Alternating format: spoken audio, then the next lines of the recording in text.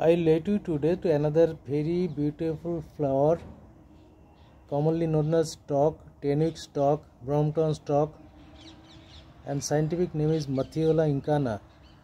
It is a very beautiful flower. It will increase also in size and mostly there is some flower coming out from the middle of the flower. It is very beautiful. Remain very good for a long time. Almost 8 to 10 weeks.